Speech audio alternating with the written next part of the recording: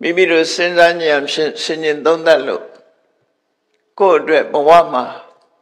သင်္ကန်းစာအဖြစ်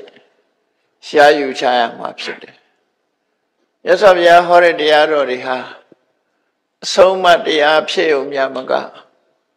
လက်တွေ့လိုက်နာကျင့်သုံးလို့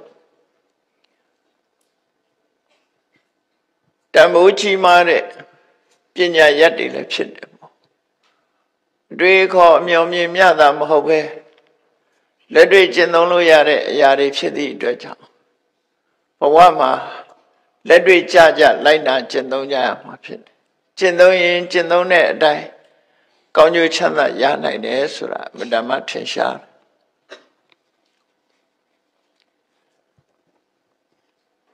ရသော်ဘုရားရဲ့အဆုံးအမတရားတော်ကိုကောင်းခြင်းသုံးမြတ်နဲ့ပြည့်စုံတယ်လို့ စာပေကျမ်းကမှဆိုလို့ရှိတယ်ကောင်းခြင်းသုံးမြတ်ဆိုတာအစမှလည်းကောင်းတယ်အလယ်မှလည်းကောင်းတယ်အဆုံးသတ်လည်းကောင်းတယ်လို့တချို့ကအစကောင်းပြီမဲ့လို့အလယ်နဲ့အဆုံးကြတော့ဖြားရှူသွားတဲ့အရာတွေရှိတယ်ပေါ့ကောင်းခြင်းမှကောင်းတယ်ပေါ့အစာလေးတော့ကောင်းတယ်အကျိုးတရားဖြစ်ပေါ်လာတဲ့အခါကျတော့ထင်သလောက်မဟုတ်ဘူးဆိုတာမျိုးတွေဖြစ်တယ်။ မြတ်စွာဘုရားတရားတော်ကတော့အဲ့လိုမဟုတ်ဘူး။အစမှလည်းကောင်းတယ်အလယ်မှလည်းကောင်းတယ်အဆုံးမှလည်းကောင်းတယ်အဆုံးသက်လည်းကောင်းတယ်လို့ကောင်းခြင်းသုံးမြတ်နဲ့ပြည့်စုံတယ်။အဲ့ဒီကောင်းခြင်းသုံးမြတ်ကိုအမျိုးမျိုးဖွင့်ဆိုထားတဲ့အထက်ပဲ။ဘုရားတရားတော်ဟာနားထောင်လိုက်ရတဲ့အချိန်ကစပြီးတော့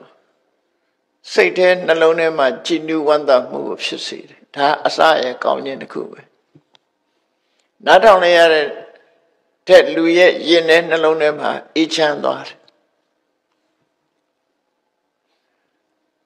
လက်တွေ့ကျင့်သုံးမှုမလုပ်ရသေးဘူးနားထောင်လိုက်ရတာနဲ့စိတ်အားတွေတက်ကြွလာတယ်စိတ်နှလုံးတွေအေးချမ်းလာတယ်ဒါအစရဲ့ကောင်းခြင်းလို့ခေါ်တယ်လက်တွေ့လိုက်နာကျင့်သုံးလိုက်တဲ့အခါကျတော့အချို့သက်ရောက်မှုဟာစတင်ပြီးပြီးပြင်းပြင်းပေါ်လာတယ် အဆုံးသတ်ကြတော့လည်းပဲတကယ်ကိုဆင်းရဲဒုက္ခကလွတ်တယ်ဆိုလို့ရှိရင်လည်းခွင်းလုံးကျွတ်ဆင်းရဲဒုက္ခဆိုတာလုံးဝမချမ်းအောင်ပြောတဲ့အတိုင်းဖြစ်လာတယ်တကယ်ကိုမျောမှန်းတာတဲ့ပို့ပြီးတော့ပြည့်စုံတဲ့အနေအထားမျိုးကိုရရှိလာကြတယ်လို့ဆိုဒါမြတ်စွာဘုရားတရားတော်ရဲ့အစရဲ့ကောင်းခြင်းအလယ်ကောင်းခြင်း အဆုံးသတ်ကောင်းခြင်းလို့ဆိုတာဒီချက်လက်တွေကိုအမရပူရမဟာကဏ္ဍယုတောင်မျိုးဆရာတော်ဘုရားကြီးကကောင်းခြင်းသုံးရာကိုတရုပ်ဖော်ပြီးတော့ရေးတဲ့အခါမှာကြာနာယုံပင် အပူစင်၍ကျင့်လင်ချမ်းသာကျင့်ပြီးကလည်းနော်လွန်စွာငြိမ်းချမ်းနိဗ္ဗာန်နှင့်ဆိုပြီး ဆရာတော်ကြီးကသိလွယ်အောင်ဗမာစကားနဲ့ရှင်းပြထားတာရှိကြာနာယုံပင်အပူစင်တယ်ဆိုတာတရားနာလိုက်ရတဲ့စိတ်အေးနှလုံးချမ်းမှုရသွားစိတ်အေးချမ်းမှုရသွားတယ်လို့ဆိုကျင့်လင်ချမ်းသာတကယ်လက်တွေ့ကျင့်သုံးနေပြီဆိုရင်အောင်မြင်မှုမရသေးခင်တောင်မှပဲစတင်ကျင့်သုံးတဲ့အချိန်ကနေပြီးတော့ရခင်ကနဲ့မတူဘဲနဲ့စိတ်နှလုံးအေးချမ်းမှုတွေကစတင်ရရှိလာ နောက်ဆုံးကျင့်လို့အဆုံးသတ်ပြီးသွားပြီဆိုလို့ရှိရင်လည်းလုံးဝပြည့်ပြည့်စုံတဲ့ချမ်းသာမျိုးကိုပေးစွမ်းတာပဲဖြစ်တယ်ဟုတ်မဟုတ်ကကိုယ်တိုင်လက်တွေ့ကြကြစဉ်းစားရမယ်တရားသာလည်းဖြစ်တယ်ပေါ့လက်တွေ့ကြလို့မြတ်စွာဘုရားတရားတော်ကိုသိရှိလို့ဝန္တာကြည်နူးပြီးလိုက်နာ ကျင့်သုံးကြလို့ဘဝရဲ့အခက်ခဲတွေဖြည့်ရှင်းဆုံးဖြတ်နိုင်ပြီးတော့ဘဝမှာရှင်သန်သွားတဲ့ပုဂ္ဂိုလ်တွေအများကြီးပဲရှိတယ်။မျောလင်းချက်ကုံဆုံးနေတဲ့ဘဝကြီးမှာပတာစာရီတို့လိုတောကကြောင့်ဒီရှုသွရတဲ့ဘဝမျိုးကိုရောက်သွားတယ် တောကဖြစ်ပါများလို့ရှိရင်လည်းယူသွကြတယ်လူတွေမှာလောဘဖြစ်တာလို့အချိန်ကြီးလိုက်ရင်လည်းယူသွကြတယ်ဒေါသကြီးလာလို့ရှင်လည်းယူသွမှုနဲ့ကြုံရတယ်ပဒါစာရီဟာယူသွသွားတယ်ဆိုတာတောကကလွှမ်းမိုးနေသည့်အတွက်ကြောင့်ပင်ကိုစိတ်တွေပျောက်သွားပြီးယူသွတဲ့ဘဝရောက်သွားတာသို့တော့သူ့ရဲ့ရင်ထဲနှလုံးထဲမှာ ရသော်ဘုရားဟောတဲ့တရားကိုနားလိနိုင်စွမ်းရှိတဲ့ပညာဉာဏ်အည်ချင်းကလင်းလျက်ပဲရှိနေသေးတယ်ပညာဉာဏ်ဘလောက်ပဲလင်းနေနေရသော်ဘုရားရဲ့အဆုံးအမတရားကိုမနာသေးသမျှပွင့်သွားမှာမဟုတ်ဘူးဥပမာဘာနဲ့တူတော့ဆိုလို့ရှိရင်နေ့ခါနေအောင်သင်မှပွင့်တဲ့ကြာလေးဟာညမှာဆိုလို့ရှိရင် ဘလောက်ပဲရင်းနေနေပွင့်လေမရှိဘူးနာနဲ့မိုးတော့အလင်းရောက်လို့နေအောင်လေးနဲ့ထိတွေ့လာရင်ကြာပန်းကြီးကပွင့်သွားတာအဲ့ဒါမျိုးလိုပဲမြတ်စွာဘုရားရဲ့အဆုံးအမစကားရနဲ့ကြုံတွေ့ပြီဆိုတဲ့အခါမှာအလင်းရောင်နဲ့ထိတွေ့ပြီးတော့ကြာပန်းကြီးကလှလှပပပွင့်လာသလိုအသိဉာဏ်တွေဟာသူမှပွင့်လင်းသွားတာဖြစ်တယ်ပေါ့အဝမကအောင်ယူတတ်တဲ့ ပဋ္ဌာစာရီဟာရသော်ဘုရားနဲ့တွေ့တဲ့အချိန်လေးမှာရသော်ဘုရားရဲ့အတန်ကိုကြားလိုက်တာနဲ့တင်ရုပ်မြင်တော့ကတော့မဖြစ်သေးဘူးအတန်ကြားလိုက်တဲ့အချိန်လေးမှာပြန်လေတတိယသွားတယ်အလုံးကိုမြတ်စွာဘုရားရဲ့မေတ္တာဓာတ်စွမ်းအားလည်းအမှန်မှချီးမားတယ်ပေါ့အဲ့ဒီအချိန်မှာတတိပတိလဘပကိနီ ငါနမတတိထားလို့ပြောလိုက်တဲ့စကားလေးဟာသူ့ရင်ထဲနှလုံးထဲမှာအေးမြသွားပြီပဂရိစိတ်ကိုပြန်ရသွားတယ်အဲ့ဒီအချိန်ကစတတိယသွားတောကတွေဟာပျောက်သွားတယ်ပေါ့သူလောက်ဇဏ္နာတာပဲရှိမလဲနော်သူလောက်ဇဏ္နာတာပဲရှိမလဲသူဟာတထေသမီးဖြစ်ပါလေရဲ့နဲ့ ကာမဂုဏ်ရမဲ့စောအတွက်နဲ့ဘဝကြီးတစ်ခုလုံးကိုဆွန့်လွတ်လိုက်ရပြီဆင်းရဲသားဘဝရောက်သွားတယ်ရောက်သွားတဲ့အချိန်မှာအာကိုရတဲ့သူအာကိုနေတဲ့လူကလည်းလမ်းမှာမွေကိုင်းလို့သိဆုံးသွားတယ်သူသားသမီးသားနှစ်ယောက်ကလည်းပဲလူမမယ်ဖြစ်နေတဲ့အချိန်လေးမှာမျက်စိအောက်မှာပဲတ ယောက်ကရေနစ်သွားတယ်တယောက်ကစွန်ချီသွားတယ်ခဏခေတ်မှာအဲသားကိုစွန်ချီတယ်ဆိုတော့ဖြစ်နိုင်ပါမလားလို့တချို့ကထင်အောင်တယ်ခဏလင်းယုံကြီးတွေဟာစိတ်တွေတောင်ချီတယ်နော်အကောင်ကြီးတွေတောင်ချီတာကိုတွေ့နေရတယ်ပေါ့နော်လောက်ချီချီချီနိုင်တဲ့သဘောရှိတယ်ဒီကောင်ကြီးတွေအဲ့ဒါလို့စွန်ဆိုတာတော့ဒီ ယမပြေကလူတွေမြင်တဲ့စွန်သေးသေးလေးတော့မဟုတ်တော့ဘူးခုနကချီနိုင်တဲ့ကြီးမားတဲ့အကောင်ကြီးတွေလင်းယုံငယ်ကြီးတွေဖြစ်နိုင်တယ်ပေါ့သူတို့ချီနဲ့ကုတ်ချီသွားအဲ့တော့မျက်စိအောက်မှာပဲသားနှစ်ယောက်ကလည်းသက်ပြောက်သွားတယ်အာကိုဖို့ရာစိတ်ကူးပြီးတော့တောက်ထိမြို့လာတဲ့အခါမှာလည်းပဲအမေအဖေမောင်မောင်ငယ်၃ယောက်ကလည်း တပြိုင်နက်လေကြီးမိုးကြီးကြပြီးတိုက်ပြို့လို့သေဆုံးသွားကြတယ်ဆိုတဲ့သတင်းကိုကြားလိုက်တယ်အဲ့တော့တပြိုင်နက်သူ့မှာအာကိုးစရာဆိုတာဘာမှမရှိတော့ဘာမှမရှိတော့အဲ့ဒီအချိန်မှာလုံးဝတတိမေ့ပြီးယူသွတ်သွားတဲ့ပတာစာရီဟာသွားခြင်းအသွားရကနေပြီးမြတ်စွာဘုရားနဲ့မြတ်စွာဘုရားတရားဟောနေတဲ့ပြိဿတ်ထဲဝင်လာတဲ့အခါမှာမြတ်စွာဘုရားရဲ့မေတ္တာကရုဏာအကျဉ်းတရားတွေရဲ့စွမ်းတတ္တိ ကြားလိုက်ရတဲ့စကားနားနဲ့ကြားလိုက်ရတဲ့တတိပတိလဘပခိနီ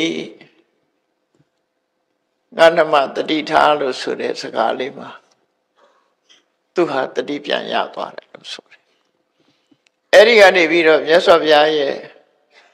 ဟောပြောသွန်သင်ချက်တွေအောက်မှာပဂရိစိတ်ကိုပြန်ရလာပြီးတော့နောက်ဆုံးမှယန္နာမကြီးဖြစ်သွားတယ်လေ အဲ့ဒီနေရာနဲ့ပတ်သက်လာတဲ့အခါမှာဆေးတစ်ခွက်မှမတက်ရပဲနဲ့ဘာဖြစ်လို့အယူယောဂပျောက်သွားတယ်လေခုခေတ်စဉ်းစားခြင်းစဉ်းစားလိုက်ဘာကြောင့်အယူယောဂပျောက်သွားမြတ်စွာဘုရားဟာစိတ်ကိုဆုံးမတယ်ဆိုတာအလုံးသိပြီးသားပဲရှုပ်ကိုဖြစ်စေတဲ့အကြောင်းတရားဟာအဘိဓမ္မာနဲ့ဆက်ဆက်ပြီးကြည့်မယ်ဆိုရင် အကြောင်း၄မျိုးရှိတယ်ရုပ်ဟာကံ့ကြောင့်ဖြစ်တဲ့ရုပ်ရှိတယ်စိတ်ကြောင့်ဖြစ်တဲ့ရုပ်ရှိတယ်ဥဒုကြောင့်ဖြစ်တဲ့ရုပ်ရှိတယ်အာရကြောင့်ဖြစ်တဲ့ရုပ်ရှိတယ်ဘုန်းကြီးတို့တွေအကြမ်းမြင်ပြောရမယ်ဆိုရင်ပြမကအာယုန်နေနဲ့ဆက်သွယ်နိုင်တဲ့မျက်စိနာနာလျှာကာယလို့ဆိုတဲ့ပတ္တာရယုတ်တွေဟာကံ့ကြောင့်ဖြစ်တာဖြစ်တယ်စိတ်ကြောင့်ဖြစ်တာလည်းမဟုတ်ဘူးဥရုကြောင့်ဖြစ်တာလည်းမဟုတ်ဘူးအာရကြောင့်ဖြစ်တာလည်းမဟုတ် ကံကပေးလို့ရလာတဲ့ရုပ်တွေသာဖြစ်တယ်ပေါ့အမျိုးသားအမျိုးသမီးခွဲပြားခြားနာတဲ့ရုပ်တွေဟာလည်းကံကြောင့်ဖြစ်တာနှလုံးသားထဲမှာစိတ်ရဲ့အာယုန်နဲ့တွေ့လို့ရှိရင်စိတ်ဖြစ်ပွားနိုင်တဲ့တရားအယက်ဟရိယဝတ္ထုဆိုတာလေကံနဲ့ပတ်သက်တယ်ပေါ့ရုပ်တွေကိုထိမ့်သိမ်းဆောက်ရှောက်တဲ့ဇီဝိတဆိုတဲ့ရုပ်အသက်ဟာလည်းပဲကံကြောင့်ဖြစ်တယ်လို့ လူရဲ့ခန္ဓာကိုယ်မှာရှိတဲ့အတွင်းကအာဟာရဆိုတဲ့ဩဇာဓာတ်ဟာလည်းပဲကံကြောင့်ဖြစ်လာတယ်လို့အဲ့ဒါလို့ကံကြောင့်ဖြစ်လာတဲ့ရုပ်တွေဟာရှိတယ်သို့တော့ကံကြောင့်ရုပ်ဖြစ်တဲ့ရုပ်တွေဟာဘသူတွေရဲ့ပံ့ပိုးမှုနဲ့ယတ္တိရတယ်လဲဆိုရင်ဥရုကြောင့်ဖြစ်တဲ့ရုပ်တွေအာရကြောင့်ဖြစ်တဲ့ရုပ်တွေကပံ့ပိုးပေးထားတယ်။ဘာလဲဥပမာတူတော့ဆိုလို့ရှိရင် ရှည်ထဲမှာကြာပင်နေရှင်သန်နေတာဟာရေရဲ့ကုညီမှုနဲ့ရှင်သန်နေတာဖြစ်တယ်လို့သူကသူပေါက်တာမှန်တော့လည်းပဲရှင်သန်မှုအတွက်အထောက်အကူတွေအများကြီးဖြစ်တယ်ပေါ့ဥရုကြောင့်အာရကြောင့်စိတ်ကြောင့်အဲ့ဒါလို့အကြောင်း၄မျိုးရှိတဲ့အထက်မှာယူသွချင်းဆိုတာကြတော့စိတ်နဲ့ပတ်သက်လာတယ်စိတ်နဲ့ပတ်သက်လာပြီးတော့ဖြစ်တဲ့စိတ်ကြောင့်ဖြစ်သွားတဲ့ အယူယောဂဟာစိတ်နဲ့ပဲပြန်ကုစားမှာဖြစ်တယ်ပေါ့အဲ့တော့ဘာကြောင့်အယူယောဂပျောက်သွားသလဲဆိုရင်အားငယ်ပြီးတောကရောက်နေတဲ့အချိန်မှာမြတ်စွာဘုရားရဲ့အာပိစကားလေးကိုကြားလိုက်ရတာသူစိတ်ဟာအမှန်တမ်းချီနူးသွားတယ်အဲ့ဒီချီနူးသွားတဲ့စိတ်လေးဟာနော်ဒီအတန်လေးနဲ့ပေါင်းစပ်ပြီးတော့စိတ်ထဲမှာချီနူးသွားတာ psychiatric တို့ psychotherapy တို့လို့ခုခေတ်စေယောဂကုတဲ့ကုကုထုံးတွေလို့ပဲမြတ်စွာဘုရားရဲ့ခေါ်လိုက်တဲ့အတန်နဲ့ပဲသူဟာအယူယောဂတက်တာသွားတယ်စိတ်ကြောင့်ဖြစ်နေတဲ့အယူယောဂစိတ်နဲ့ပဲကုစားလိုက်တာလို့ဒီလိုဆိုလို့တယ်ပေါ့နော်အေးအဲ့ဒါလို့လောကကြီးမှာစိတ်ကြောင့်လည်းယူတတ်သွားနိုင်တယ် စိတ်ကြောင့်လည်းပဲလူတွေဟာအထွတ်ထိပ်ကိုရောက်သွားနိုင်တယ်လို့ဒီလိုဆိုလိုတဲ့မြတ်စွာဘုရားရဲ့ဒေသနာတော်တွေရစိတ်နဲ့ပတ်သက်လာတဲ့အခါမှာအနောက်တိုင်းကအတွေ့ခေါ်ယူဆတွေနဲ့မတူတဲ့မြတ်စွာဘုရားရဲ့စိတ်ဖြစ်ပုံအခြေအနေကတော့စိတ်ဟာဝတ္ထုနဲ့အာယုံလို့ခေါ်ရ ဝတ္ထုဆိုတာဘာတော့စိတ်ဖြစ်ရာဌာနကိုဝတ္ထုလို့ခေါ်တယ်အာယုံဆိုတာပြင်ဘက်ကအဲ့ဒီဝတ္ထုလို့ခေါ်တဲ့တရားဌာနကို လာပြီးတော့ရိုက်ခတ်တဲ့အာယုံဆိုပါစို့ဘုန်းကြီးတို့တွေမှာမျက်စိရှိတယ်မျက်စိကဝတ္ထုအရာစကားနဲ့ပြောမယ်ဆိုရင် မျက်စိကိုဝတ္ထုလို့ခေါ်တယ် background ပေါ့နော်အဲ့ဒီမျက်စိဆိုတဲ့ဝတ္ထုမှာ အစင်းအာယုံဆိုတဲ့ပုံရိပ်ကလာပြီးတော့ရိုက်ခတ်တယ်အဲ့ဒီနှစ်ခုရိုက်ခတ်မှုဟာတမန်အပြင်တော့ဒီဘာမှပြင်းထန်တယ်လို့မထင်ကြဘူးအဲ့ရိုက်ခတ်မှုကနှလုံးသားတကားကိုပွင့်သွားစေပြီးတော့မြင်သိစိတ်ဆိုတာဖြစ်ပေါ်လာတယ်ဒီရိုက်ခတ်မှုကြောင့်ဖြစ်လာတယ်နော်တမန်အပြင်ဖြစ်တာမဟုတ် ဒါမို့ဖះဟောတဲ့တရားထဲမှာစက္ခုံစပတိစရူပေစဥပ္ပစ္စတိစက္ခုဝိညာဏမြင်သိစိတ်ကလေးဟာစက္ခုပတာရရဲ့အစင်အာယုံရဲ့ဒဒီနှစ်ခုပေါင်းစပ်လိုက်တဲ့အခါမှာဖြစ်ပေါ်လာခြင်းသာဖြစ်တယ်ဥပမာမယ်စီတီးတဲ့လက်နဲ့စီမျက်နှာဖြင့်ထိတွေ့လိုက်တဲ့အခါမှာစီတံပေါ်လာတယ်လို့ပဲ ဒီမြင်သိစိတ်လေးဟာမျက်စိနဲ့အဆင်းအာယုံဆုံလိုက်တဲ့အခါမှာပေါ်လာတဲ့အကျိုးကျေးဇူးပဲဖြစ်တယ်ဒါမို့စိတ်ဆိုတာရှိနေတဲ့အရာမဟုတ်ဘဲနဲ့ဖြစ်လာတဲ့အရာသာဖြစ်တယ်ပေါ့ရှိတယ်ဆိုရဲရှုတော့ကပြောချင်ရင်တော့ analyze လုပ်ကြည့်ရင်လည်းပဲဒီစိတ်ရဲ့သဘာဝဟာသဘာဝအဖြစ်ရှိတယ်လို့သာပြောရမယ်သို့တော့ ရှိနေတယ်ဆိုတဲ့နေရာမှာဒီအိမ်ထဲမှာလူရှိနေတယ်လို့ရှိတဲ့အရှိမျိုးမဟုတ်ဘူးเนาะအဲ့ဒါလို့အရှိမျိုးမဟုတ်ဘူးပရမတ္ထတရားအဖြစ်သဘာဝအဖြစ်ဆန်းစစ်လေ့လာကြည့်ရင်ရှိတယ်ဆိုတဲ့သဘာဝအနေနဲ့ရှိတယ်သို့တော့စိတ်ဟာရှုတော်ကတခုကပြောမယ်ဆိုရင်ဖြစ်လာတာဘာကြောင့်ဖြစ်လာလဲဆိုရင်ဝတ္ထုနဲ့အာယုံစုံစည်းလို့ဖြစ်လာတာ ဒါကြောင့်ပြောလေးရှိကြတယ်တချို့ကလည်းစိတ်ဟာအဖြစ်တရားလားအရှိတရားလားလို့ဒီလိုမေးလိမြန်လေးရှိကြတယ်ပရမတ္ထရှုတော်ကနေကြည့်ပြီးပရမတ္ထအနေနဲ့ရှိလို့အရှိတရားလို့ပြောလို့လည်းရတယ်သို့တော့အိမ်ထဲမှာလူရှိတယ်လို့ရှိတာမဟုတ်ဘူးဆံအိုးထဲမှာဆံရှိတဲ့အရှိမျိုးမဟုတ်ဘူးရေပလင်းထဲမှာရေရှိတဲ့အရှိမျိုးမဟုတ်ဘူးတော့ရှိတယ်ဆိုရင်မဲ့ တဘာဝအဖြစ်ရှိတာကိုဆိုလို့တယ်အဖြစ်တရားဆိုတာကြတော့မြတ်စွာဘုရားကိုယ်တိုင်ကဝိညာဏပဋိစ္စသမုပ္ပန္နဝိညာဉ်ဆိုတဲ့စိတ်လေးဟာတဲ့အကြောင်းတရားကိုဆွဲပြီးမှဖြစ်လာတဲ့အရာပါလို့ပဋိစ္စသမုပ္ပန္ဒေသနာမှာလည်းပဲအဖြစ်တရားအနေနဲ့ပဲဟောတာအကြောင်းနဲ့ဒါမှမဟုတ်သက္ခုံစပဋိစ္စရူပိစ္စဥပ္ပစ္စတိသက္ကုဝိပဋိစ္စဥပ္ပစ္စတိဆိုဆွဲပြီးမှဖြစ်တာတခုအမိပြုပြီးမှဖြစ်တယ် ဒီလိုဆိုလို့လည်းပေါ့နားနဲ့အတန်ဆုံလိုက်တဲ့အခါမှာကြာသိစိတ်ဖြစ်တယ်နှာခေါင်းနဲ့အနံ့ဆုံလိုက်တဲ့အခါမှာနန္တိစိတ်ဖြစ်တယ်လျှာနဲ့ရတာဆုံလိုက်တဲ့အခါမှာလျက်တိခန္ဓာကိုယ်နဲ့အထိတွေ့ဆုံလိုက်တဲ့အခါမှာထိတိစိတ်နဲ့ကြံတွေးအာယုံဆုံလိုက်တဲ့အခါမှာတိအတိစိတ်ဆိုဖြစ်လာအဲ့တော့စိတ်တွေဟာဝတ္ထုနဲ့အာယုံဆုံစည်းမှဖြစ်လာတယ်လို့ အဲ့ဒါကိုပဲပဋ္ဌာန်းမှာအာရမဏပစ္စယောတို့ပုရိဇာတပစ္စယောတို့နေနေတယပစ္စယောတို့ဒီလိုခေါ်တာနော်ပုရိဇာတပစ္စယောနေတယပစ္စယောမိယဝတ္ထုတစ်ခုပေါ်မှာမှီပြီးတော့မှဖြစ်လို့ပုရိဇာနေတယပစ္စယောအာယုန်နဲ့ဆုံမှဖြစ်လာတာဖြစ်သောကြောင့်အာရမဏပစ္စယောလို့ပဋ္ဌာန်းဆိုတာတဘာဝတရားတွေရဲ့ဖြစ်ပုံတွေရဲ့ တဘာဝတရားတွေရဲ့ဖြစ်မှုရဲ့အကြောင်းတရားကို ရှင်းပြတဲ့ဒေသနာဖြစ်တယ်အဲ့ဒီပဋ္ဌာန်းတရားကိုကြည့်ခြင်းအပြင်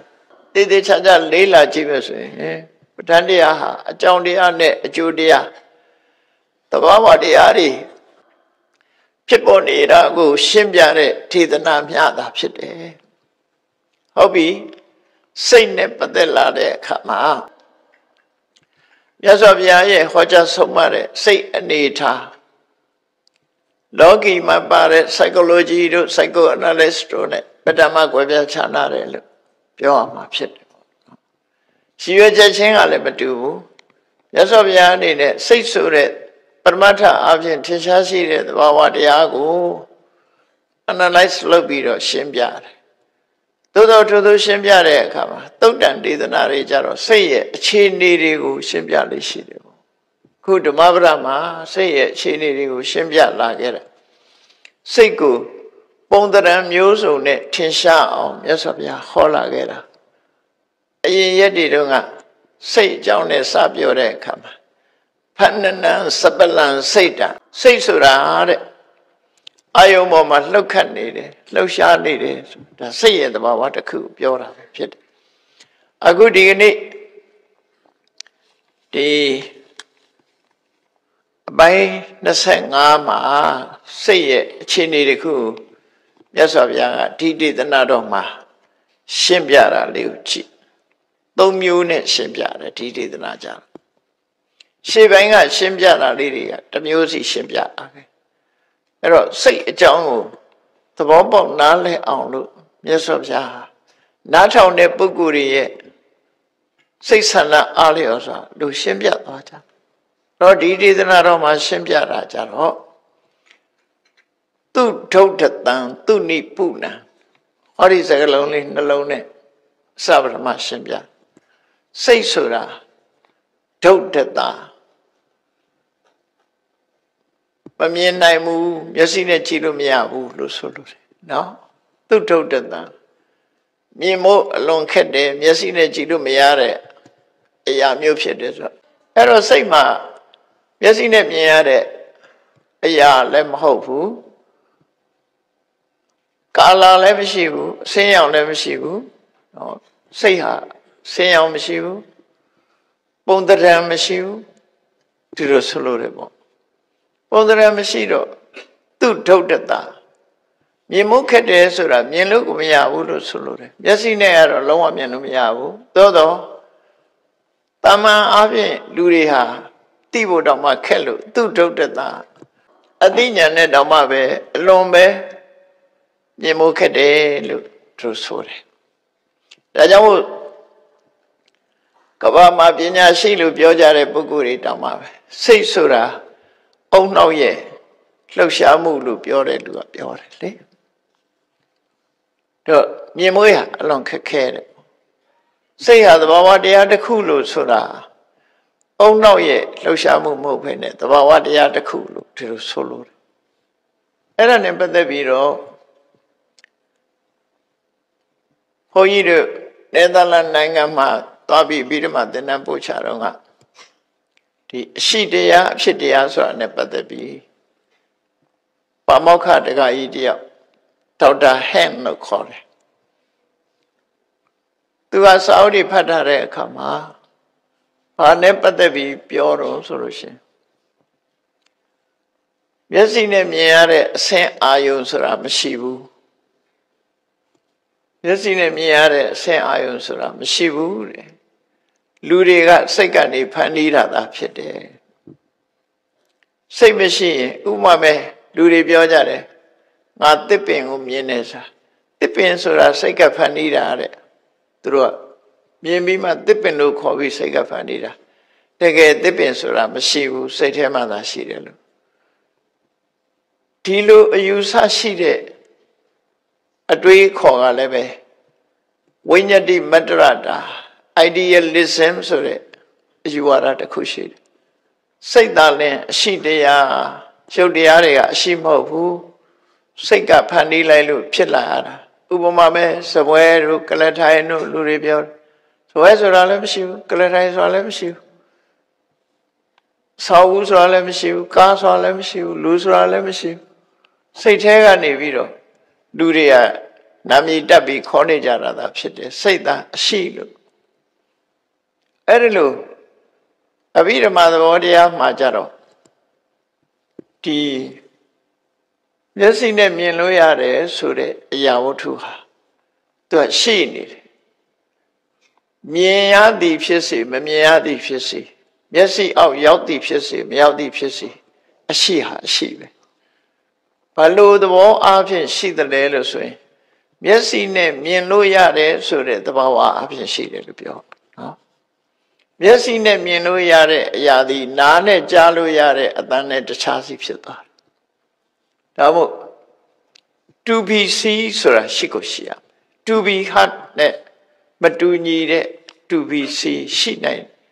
မြင်လို့ရတယ်ဆိုတဲ့အနေအထားကိုကသူ့ရဲ့သဘာဝပဲ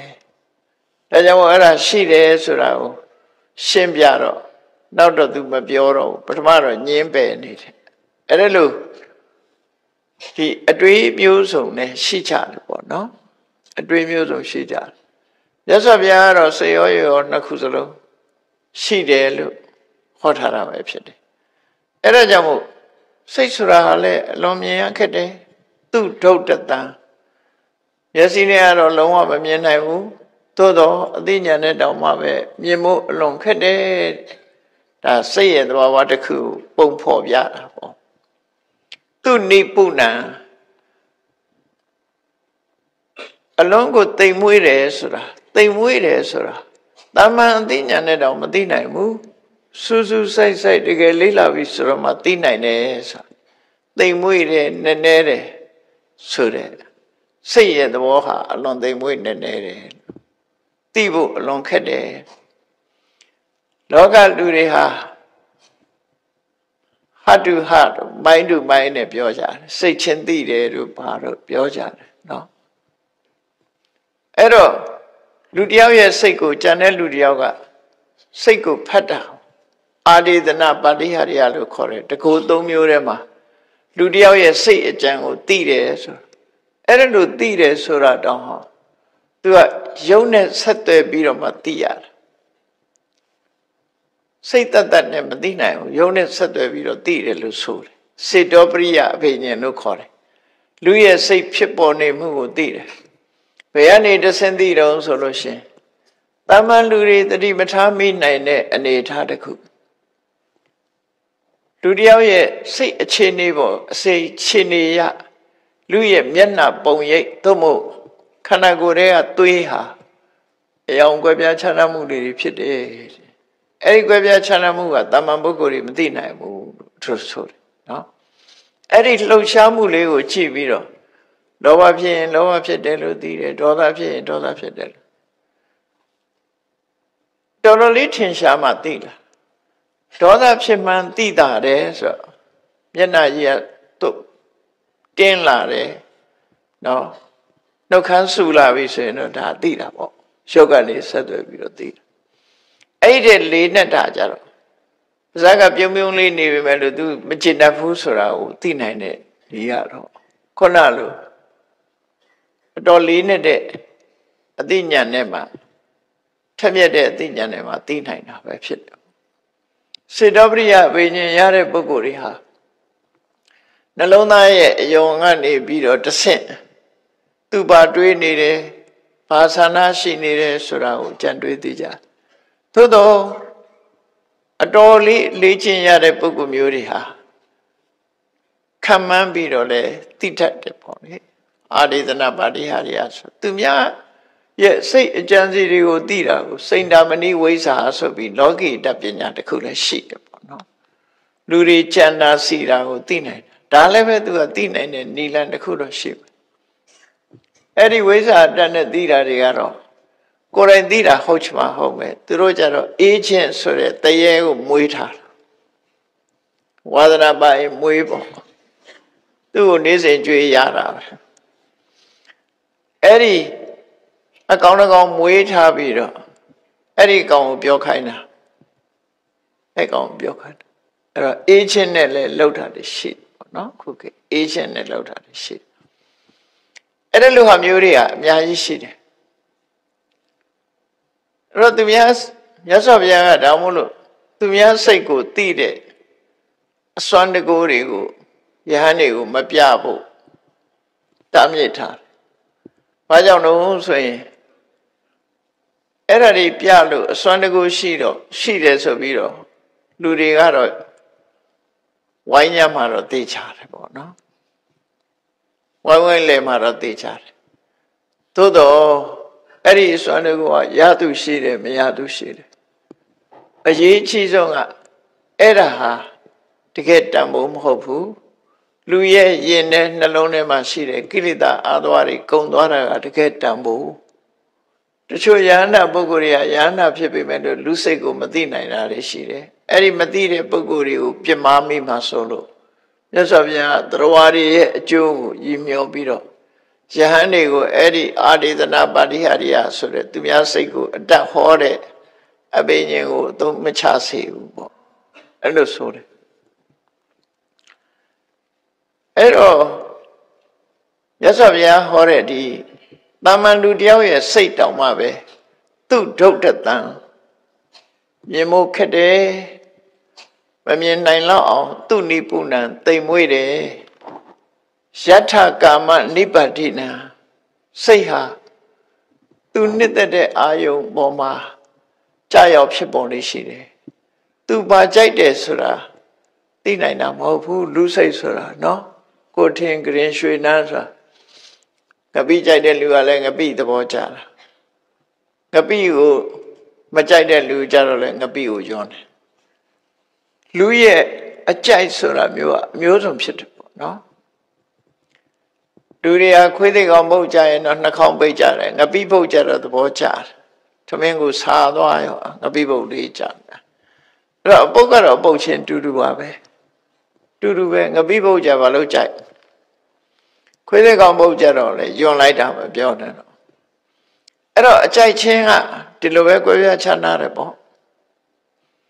ယထကမနိပတိနာကိုထင်ကြရေရွှေနှမ်းဆိုကြိုက်ချင်ရကြိုက်တယ်လူတွေနော် ကိုယ်စိတ်ကဒီကောင်းမရဲ့လို့ဒီလိုမဟုတ်ဘူးဆွဲမိဆွဲရကြိုက်မိကြိုက်ရကြိုက်တတ်တယ်လို့ဒီလိုဆိုလိုတယ်ပေါ့အဲ့ဒါလူစိတ်ရဲ့သဘာဝသုံးခုကိုဒီဒေသနာတော်မှာဟောပြောတာပဲဖြစ်တယ်ရှင်နာတော်ကဖဏနံစပလံစိတ်တံနော်စိတ်ဟာအာယုန်တွေပေါ်မှာရောက်ခတ်ရိုက်ခတ်ပြီးတော့လှုပ်ရှားရောက်ရက်ခတ်နေတယ်စပလာနော် အမတမလျက်ပေါ်လောလီတယ်လို့ဒုတဲ့အခါထိမ့်သိမ်းဆောက်ရှောက်ဖို့ခက်တယ်ဒုံဤဝါရယကိုမသွားစင်ကြီးနဲ့အာယုံကိုမသွားဖို့တားမြစ်ဖို့အလွန်ခက်တယ်ဆိုတဲ့စကားတွေနဲ့စိတ်ကိုတရုပ်ဖော်ခဲ့တာဖြစ်တယ်မြတ်စွာဘုရားအခုနောက်ပိုင်းရောက်လာတဲ့အခါကြတဲ့အခါခုဒီမှာသူ့ထုတ်တတံသူ့နိပုဏ္ဏစိတ်ဟာလွန်မြင်ဖို့ခက်ခဲတယ်တဲ့ ရုပ်ခန္ဓာကိုဘောဓိကြီးကတော့အလွယ်တကူမြင်နိုင်ကြတယ်ပေါ့သူရဲ့စိတ်မြင်မှုဆိုတာအလုံးကိုခဲနေအလုံးသိမ်မွေ့တယ်တဲ့ယထာကမနိပါတိနာနှစ်သက်ရအာယုံပေါ်မှာသူနှစ်သက်ရအာယုံပေါ်မှာဖြစ်နေဖြစ်တာရှိတယ်ဒါစိတ်ရဲ့သဘာဝကိုပြောတာဒါဖြင့်အဲ့ဒီစိတ်ကိုမလုပ်ရမှာလဲမလုပ်ရမှာလဲလို့ဆိုစိတ်တံရခေထမေရာဝီ မင်းတေချာစဉ်းစားအသိဉာဏ်ရှိတဲ့ပုဂ္ဂိုလ်တွေဟာဖြစ်ချင်ရာဖြစ်ဆိုပြီးစိတ်ကိုလွတ်ထားလိမ့်မရှိဘူးတဲ့အသိဉာဏ်ရှိတဲ့ပုဂ္ဂိုလ်ကအသိဉာဏ်ရှိပြီဆိုရဲဒါတွေးတဲ့သလားဒါမတွေးတဲ့မူလားဒီစကားဟာပြောတဲ့သလားမပြောတဲ့မူလားဒီအလုပ်ဟာလုပ်တဲ့သလားမလုပ်တဲ့မူလားဆိုအသိဉာဏ်ကစဉ်စစ်စစ်တယ်လေအသိဉာဏ်မရှိဘူးဆိုရင် ဘာမှစဉ်းစားမှာမဟုတ်ဘူးဒါကြောင့်မို့အသိဉာဏ်မရှိတဲ့ပုဂ္ဂိုလ်တယောက်ဟာစိတ်ကိုထိမ့်သိမ်းဆောက်ရှောက်ဖို့ဆိုတာဘယ်လိုမှမဖြစ်ဘူးတဲ့စိတ်ကိုအနိုင်မရတဲ့စိတ်ကိုအစိုးမရတဲ့ယူတတ်နေတဲ့ပုဂ္ဂိုလ်တယောက်ဟာသူစိတ်ထဲမှာသူထင်တယ်လို့ပြောမှာပဲသူထင်တယ်လို့လုပ်မှာပဲအထိန်အုပ်တွေလွတ်သွားတယ်လို့ပဲ အရိယသူတော်စင်ရဲ့အမြင်နဲ့ကြည့်မဲ့ဆိုရင်ပုထုဇနောဥမတကောတဲ့နော်ပုထုဇဉ်တွေဟာလည်းပဲအယူလိုပဲလို့ပြောတာနော်ရဟန္တာတွေအနေနဲ့ကြည့်ရင်တော့ယူတတ်နေကြတာလို့ဒီလိုပဲထင်ပါပဲဘာလို့လို့ဆိုဘာမဟုတ်တာလေးလဲကြိုက်ချင်ကြိုက်ခရီးစီတွေဖြစ်နော်ယူနှမ်းနေကြအာယုန်ဒီပေါ်မှာမမောပြီးယူနှမ်းနေတယ်လို့ပဲဒီလိုပဲမြင်တယ် အသိဉာဏ်ရှိလာပြီဆိုလို့ရှိရင်စိတ်ဟာဘလို့ဖြစ်လာတယ်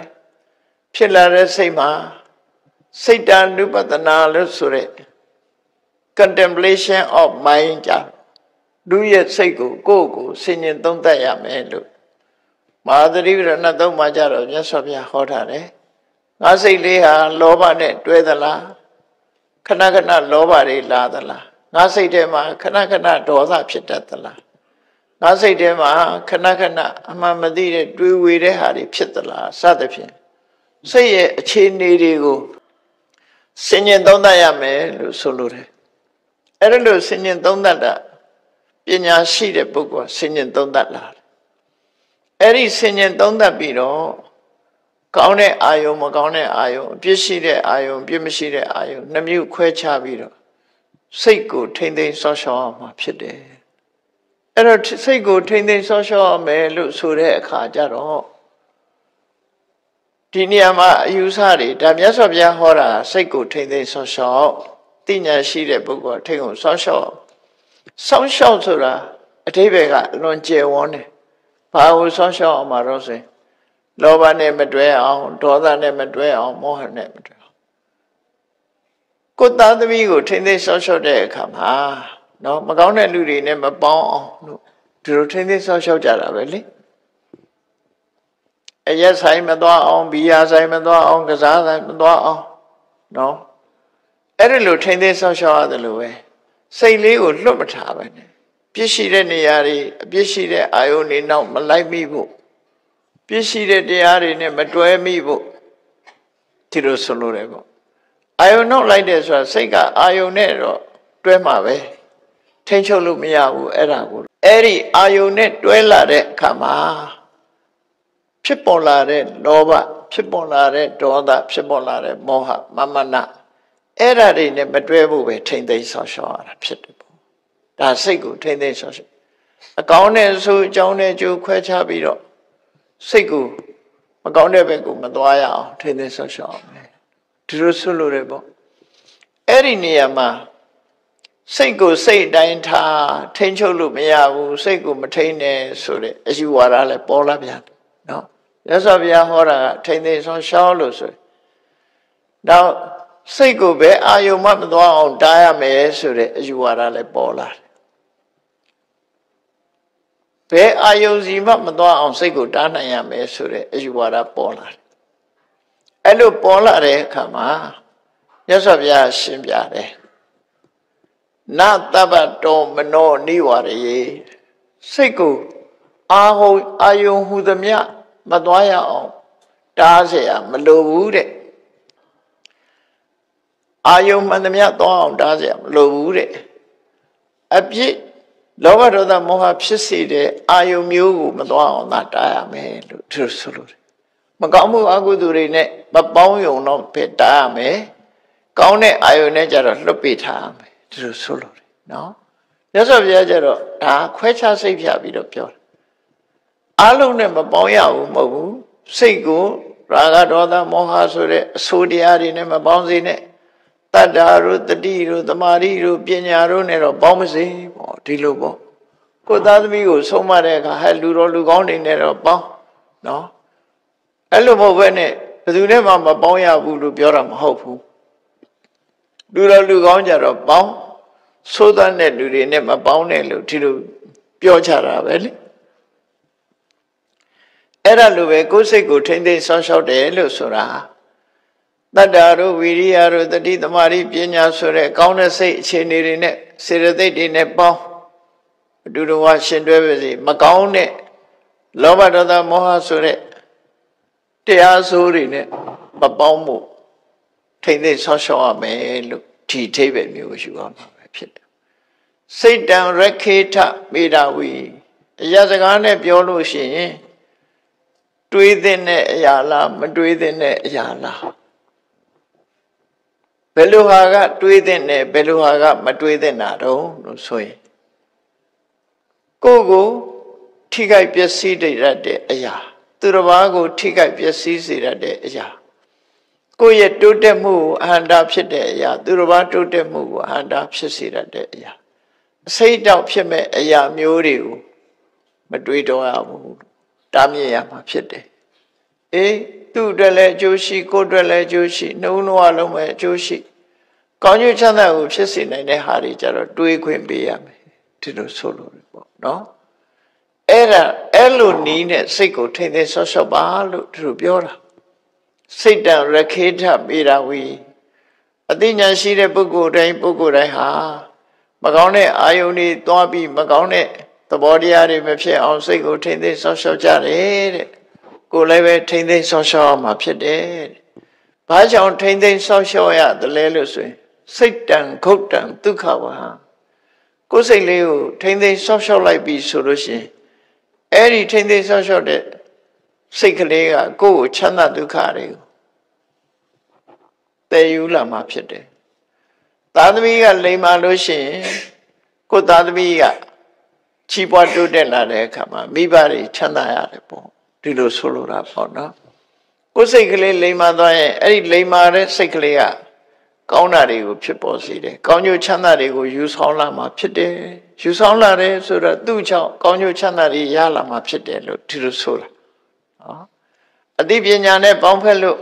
ပညာတတ်ကြီးဖြစ်လာတယ် ဒါစိတ်ကိုဆုံးမတာပဲလေပပညာတတ်ကြီးဖြစ်လာရင်ထိုပညာတတ်မှုကိုအကြောင်းပြုပြီးတော့လောကမှာငွေကြေးရဏစာဝနေဖူလုံးလာတာဒီပညာကပေးတဲ့ငွေကြေးပဲဖြစ်တယ်ပေါ့ဒီလိုဆိုလိုတာပဲဒီဒါကြောင့်စိတ်တန်ခုတ်တန်ဒုက္ခပါစိတ်ကိုကြာကြာနာနာဆုံးမနိုင်ပြီဆိုလို့ရှိရင်ကတော့တဲ့လူတွေဟာ လူချမ်းသာဆိုတာလဲရနိုင်တယ်နတ်ချမ်းသာဆိုတာလဲရနိုင်တယ်ဇမချမ်းသာဆိုတာလဲရနိုင်တယ်နောက်ဆုံးမှနိဗ္ဗာန်ချမ်းသာထီအောင်စိတ်ကိုထိမ့်သိမ်းဆွဆွခြင်းကပေးစွမ်းနိုင်တယ်လို့သူဆိုတယ်။တမန်အဖြစ်စဉ်းစားကြည့်လူတယောက်ဒေါသဖြစ်နေတယ်။အဲ့ဒေါသကိုဖယ်ရှားပစ်ဖို့ဖယ်ရှားပစ်ပြီးကိုယ်စိတ်လေးကိုကိုဒေါသနဲ့မတွဲအောင်မထိန်နိုင်ဘူးဆိုတဲ့လူတယောက်ဟာမကျေနပ်မှုတွေနဲ့နောက်ဆုံးမှာ နှုတ်ကနေပြီးတော့ဆဲရေးမယ်ကိုရီလဲရောက်ရိုက်နဲ့ကျွလွန်မယ်ဆိုတာမျိုးတွေဖြစ်လာတယ်လေရာဇဝမှုတွေကတိုးတက်လာတယ်ဒေါသကိုမထိန်နိုင်လို့ရှိရင်ရာဇဝမှုတွေဖြစ်ပေါ်လာတယ်လောဘကိုမထိန်နိုင်ဘူးဆိုရင်လည်းရာဇဝမှုတွေဖြစ်လာမောဟကိုမထိန်နိုင်ဘူးဆိုလို့ရှိရင်လည်းမမလွင်လောက်ရတွေလောက်လာလောက်လာလို့ပြဿနာတွေတက်တယ်ပေါ့ဒီလိုဆိုလိုတာပဲเนาะအေးဒါကြောင့်မို့ စိတ်ကိုထိမ့်သိမ်းဆော့ဆော့မယ်လို့သိမှလုပ်ရမယ်ပြောသိမှပြောရမယ်တွေးသိမှတွေးရမယ်တို့အဲ့ဒီလိုစိတ်ကိုထိမ့်နိုင်သိမ့်နိုင်ပြီဆိုလို့ရှိရင်တော့ချမ်းသာဒုက္ခရပါတယ်လို့မြတ်စွာဘုရားဒီဓမ္မပဒဒေသနာတော်မှာဒီလိုဟောတာအဲ့ဒီဟောတဲ့အတိုင်းပဲဓမ္မရတ္တပေါ်လွင်အောင်မှတ်သားပြီးကိုဘဝအတွက်မှာကိုထိမ့်သိမ့်ရမယ်စိတ်အနေထားတစ်ခုကြာကြာနာနာသဘောပေါက်ပြီး ကိုယ်စိတ်ကိုထိရမယ်လို့သူဆိုလို့တယ်နော်လက်တွေ့ကျင့်သုံးရမှာပဲဖြစ်တယ်ဟုတ်ပြီဒီဒေသနာတော်ကိုမြတ်စွာဘုရားကဘယ်ပုဂ္ဂိုလ်အကြောင်းပြုဟောတယ်လဲလို့ဆိုတော့တာဝတိမြို့ကတထေသားလေးတူအဲ့ဒီတထေသားလေးကငယ်စဉ်ကလေးကဘာသာတရားကိုင်းဆိုင်တယ်ဆိုပါစို့သူ့အိမ်ကိုအမြဲတမ်းကြွလာတဲ့ ယဟန်တန်ကရှိတယ်။သူရင်ကြွလာတဲ့ဘုန်းကြီးစီမှာသူကအမြဲတမ်းလှူဒန်းပြီးတော့မေးမြန်းတယ်ပေါ့။တရားဓမ္မတွေနာပြီးသူဘာပြောတော့လို့ဆိုရှင်ဖျားတပည့်တော်တို့တန်တရားဝကလွတ်ဖို့လူလောကမှာဘဝမှာကောင်းစားဖို့ဘာလို့ရင်ကောင်းတော့ဘာလို့ရမလို့မေးတာပေါ့နော် ဘဝမှာကြီးပွားချမ်းသာဖို့တပည့်တော်ဘာလုပ်ရမလဲလို့ဆိုတဲ့အခါကျတော့ပထမတော့အခြေခံအနေနဲ့အဲ့ဒီဘုန်းကြီးကသူ့ကိုတရားဟောတယ်တဲ့မင်းရှိတဲ့ပစ္စည်းကိုသုံးပုံပုံတပုံကမင်းစားဖို့အသုံးချတထေသားဆိုတော့ပစ္စည်းဥစ္စာပြည့်စုံတယ်ပေါ့နောက်တစ်ပုံကအယောင်းဝယ်နဲ့ပစ္စည်းဥစ္စာတိုးတက်အောင်လုပ် နောက်တစ်ပုံကတော့ဒါနကောင်းမှုလုံးလို့အဲ့ဒီမှာဟောတယ်အဲ့လိုဟောတော့သူအဲ့ဒီတိုင်းလိုက်နာပြီးတော့ဘဝမှာဆင်ပြေဆင်ပြေလာရနေပြီးတော့ထိတဲ့နောက်ထပ်လုပ်ရင်ဘာလုပ်ရင်ကောင်းမလို့မေးဗျာအထိတဲ့ကောင်းတဲ့အလုပ်ငါပြောရမယ်ဆိုရင်တော့မင်းတရဏဂုံသုံးပါးကိုကိုးကွယ်ဆို ဖရာတရားတန်ခါယရဏသုံးပါးကိုကိုယ်ပဲစိတ်ကတ်တဲ့အလုပ်အဲ့ဒီတဲ့ကောင်းတာဆိုရင်အဲ့ဒီနောက်ဆက်ပြီးတော့ငါးပါးသီလကိုထိန်းဆိုပြီးသူကထိန်းတယ်ငါးပါးသီလလည်းလုံပြီးတရဏဂုံလည်းတည်ပြီးတပြီးတော့မလုံးအောင်အဲ့ဒါဆိုမင်း၈ပါးသီလ၁၀ပါးသီလဆောင်းတဖြည်းဖြည်းချင်းသူကတိုးတိုးသွားအဲ့တော့ ဆယ်ပါးသီလတို့ကြောင့်နဲ့ဆယ်ပါးသီလဆိုတာအိမ်အောင်လည်းမပြုဘူးညတာလည်းမစားဘူးเนาะအဲ့တော့ဒီကနေ့ခေတ်မှာတောင်မှပဲဒီညစာမစားတဲ့ဝိကလဘောဇနာဆိုပါစို့အဲ့ဒီသီလရဲ့တန်ဖိုးဟာကျမရေးအတွက်အကျိုးပြုတယ်ဆိုတာခဏခေတ်မှာပြောလာကြပြန်ပေါ့နော် ပြောလာတယ်အင်္ဂလိပ်မှာသူက intermittent fasting လို့ခေါ် intermittent ဆိုတာရှားဆိုင်နေပြီးပြန်စားတဲ့အချိန်အတော်အတွင်းလေးတစ်ခုအနည်းဆုံး16နာရီလောက်ကွာခြားဆိုပါစို့ရှစ်ပါးသီလစောင့်တည်လို့ရှိရင်12နာရီထိုးရင်ရလိုက်တယ်မဟုတ်လားမစားတော့ အဲ့ဒီကရပ်ပြီးတော့ဥပုသ်ဆောင်လိုက်တဲ့အခါနောက်တည့်ရဲ့9နာရီ6နာရီမှစားတယ်ဆိုရင်အဲ့ဒါရက်ထားတဲ့အစာအဲ့ကြမှာပြန်စားအဲ့ကြားထဲမှာတော့73နာရီ14နာရီ15နာရီ16နာရီกว่าအဲ့ဒီအတွင်းမှာအစီတွေရှိသမျှကိုတဘာဝတရားကလောင်ကျွမ်းသွားတဲ့အခါကျတော့အစီဘူကြီးတွေမပူတော့ဘူးပေါ့ဝိချခြင်းအဲ့ဒါအကောင်းဆုံးပဲကရှစ်ပါးသီလဆောင် intermittent ဆိုတာဝိချတဲ့နည်းနော် 60 hour fasting လို့လည်းပြောကြတယ်နော်အဲ့တော့ဒါမြတ်စွာဘုရားဟောတဲ့တရားတွေမြတ်စွာဘုရားဟောတဲ့တရားကိုဥပုသ်ဆောင်လို့ပြောလိုက်လို့ရှိရင်လူတွေကမဆောင်နိုင်အခုတော့ဝိချတာဆိုတော့နည်းနည်းလေးဝိချရဲဆိုနာမည်လေးနဲ့တော့ဝိတ်တက်နေတဲ့လူတွေစိတ်ဝင်စားလာမယ်နဲ့ဘာလို့ဆိုလှကျင်တာဟုတ်အဓိကအဲ့ဒါဖြစ်နေ ဥပုသ်ဆောင်ပဲဆိုရင်တော့နဲ့ပြင်းကောင်းပြင်းနေဝိချရဲဆိုရင်တော့စိတ်ဝင်စားလာနော်စိတ်ဝင်စားလာကဲဝိချတယ်ပဲပြောပြောပါပြောပြောဥပုသ်ဆောင်ပြီးဝိချလိုက်အဲ့ဒီ intermittent ဆိုတာအင်္ဂလိပ်စကားလုံးရှိတယ်ရဆိုင်ခြင်းနဲ့စတင်ခြင်းဒီနှစ်ခုကြားမှာအချိန်73နာရီ14နာရီกว่าချားအဲ့ဒီအချိန်မှာဒုက္ခနာကိုယ်ထဲမှာအပိုဖြစ်နေတဲ့အစီတွေကို ဘန်တောင်းလုပ်တော့မှာပဲလောင်ကျွမ်းတော့မှာပဲအဲ့ဒါဆိုတော့အစီတွေစုကြံစုပြီးဘိုက်ခေါက်ကြီးထူတာတို့ဘာတို့မရှိတော့ဘူးပေါ့နော်မရှိတော့ရှိနေရင်လည်းသွားပြီးတော့ဆေးုံသွားပြီးတော့ခွဲထုတ်ရတယ်ဆိုတော့အလုံးရှုပ်တယ်လေအဲ့တော့မြတ်စွာဘုရားကဟောတယ်ယဟန်တွေကိုငါဟာမနေ့တထက်တည်းစားတယ်တဲ့အတိုင်းတာနဲ့စားတယ်မနေ့တထက်တဲ့အတိုင်းတာတစ်ခုစားသည့်အတွက်ကြောင့်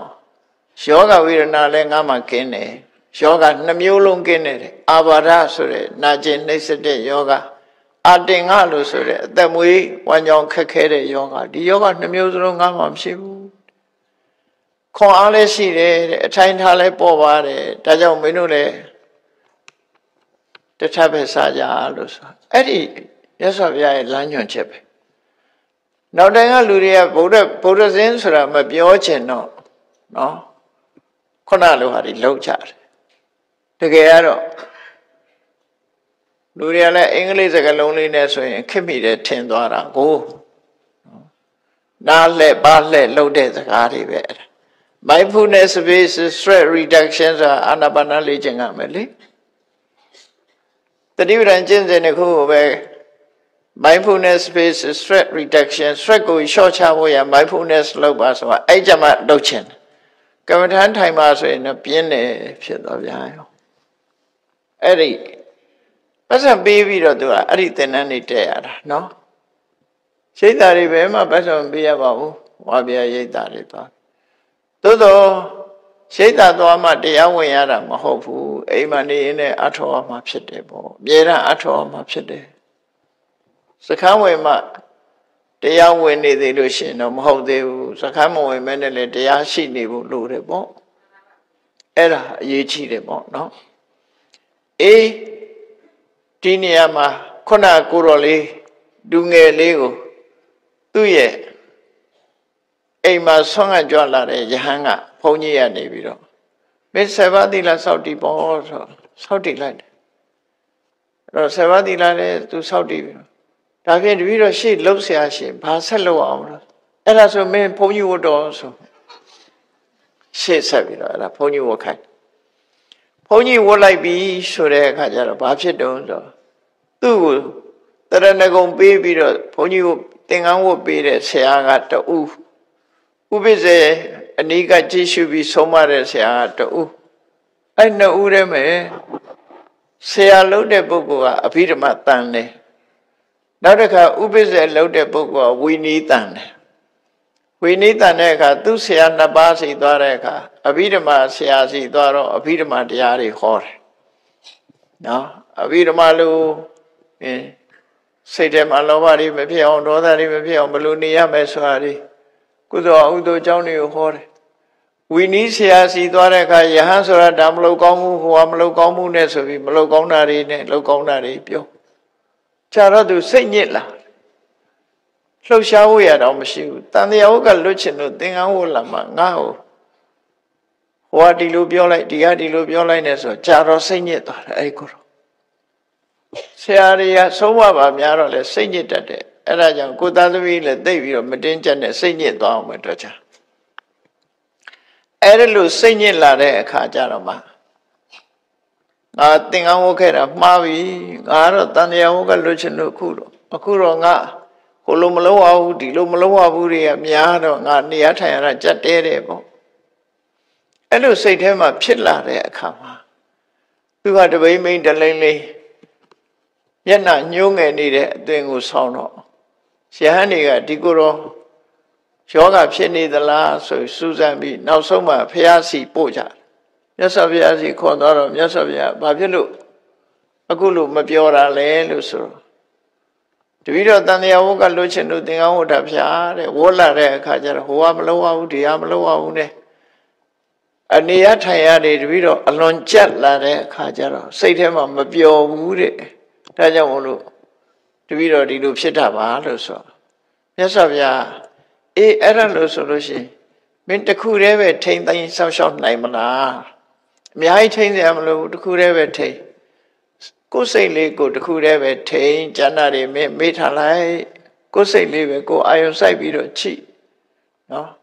ကိုယ်စိတ်လေးကိုလောဘတွေနဲ့မတွဲအောင်ဒေါသတွေနဲ့မတွဲအောင်မောဟတွေဒီတစ်ခုပဲကြည့်ကျန်တာတွေဘာမှမစင်စားနဲ့စိတ်တစ်လုံးပဲထိန်းလို့ဆိုပြီးမြတ်စွာဘုရားကဒီဒေသနာတော်လေးကိုခေါ်လိုက်တာသူထုတ်တံသူနိပုဏံယထကာမနိပါတိနာစိတ်တံရခေထမေရာဝိစိတ်တံခုတ်တံဒုက္ခဝဟံစိတ်ဆိုတာအလွန်မြင်မှုခက်တယ်အလွန်ကိုသိမ်မွေ့တယ် သူသွားခြင်းအာယုံကိုသွားလေးရှိတတ်တယ်ဒါကြောင့်မို့အသိပညာရှိတဲ့ပုဂ္ဂိုလ်ဟာစိတ်ကိုထိရတယ်စိတ်ကိုထိမိဆိုရင်ချမ်းသာဒုက္ခရမှာမြေကြီးလက်ခတ်မလွဲဖြစ်တယ်လို့မြတ်စွာဘုရားဟောလိုက်တဲ့အခါမှာသူစိတ်ထဲမှာပေါ်ပါသွားတယ်ဒီစိတ်လေးတစ်လုံးထိန်းတာဘာခက်လို့လဲဆိုပြီးတော့စိတ်အာယုံတစ်ခုတည်းပဲထိန်းကြံ့တာတွေကိုမေ့ထားလိုက်တယ်ဟိုစီကံဒီစီကံဥရိတွေများတာတွေအဲ့ဒါတွေကိုမေ့ထားလိုက်ပြီးတော့ စိတ်လေးတစ်လုံးကိုပဲသူထိမ့်သိမ်းဆောက်ရှောက်လိုက်တဲ့အခါမကြခင်ပဲယ ahanan ဖြစ်သွားတယ်ဆိုတဲ့အထုပ်ပတ္တိကိုအကြောင်းပြုပြီးဒီဒေသနာတော်ကိုဟောတာဖြစ်တယ်တရားချစ်ခင်သူတော်စင်ပြိဿတ်ပေါင်းတို့ဓမ္မပရဒေသနာမှဓမ္မရတများဟာဘဝသင်္ကန်းစာအဖြစ်ရယူပြီးတော့မိမိတို့လည်းဟိုဟာဒီဟာတွေထိရမှာကြောက်ရွံ့နေညသာမစားရဘူးဆိုလို့ရှိရင်စိတ်ကလေးပဲထိမ့်လိုက်ပါနော် ဝိချခြင်းလဲစိတ်ကလေးကိုထိအဲ့ဒါလို့စိတ်ကလေးတစ်လုံးနဲ့ပဲထိမ့်လိုက်မယ်ဆိုလို့ရှိရင်အလုံးအစဉ်ပြေသွားမှာဖြစ်တယ်လို့မြတ်ဗုဒ္ဓရဲ့အဆုံးအမတိုင်းလိုက်နာကျင့်သုံးနိုင်ကြပါစေကုန်သတည်း